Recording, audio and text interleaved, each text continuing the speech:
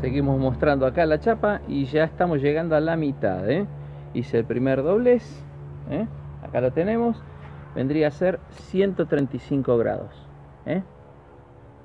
es decir los 90 sería el ángulo recto esto queda doblado a 135 grados del mismo modo que este y del mismo modo que este ¿eh? si miramos la chapa está acá este es el plano largo este es el plano corto.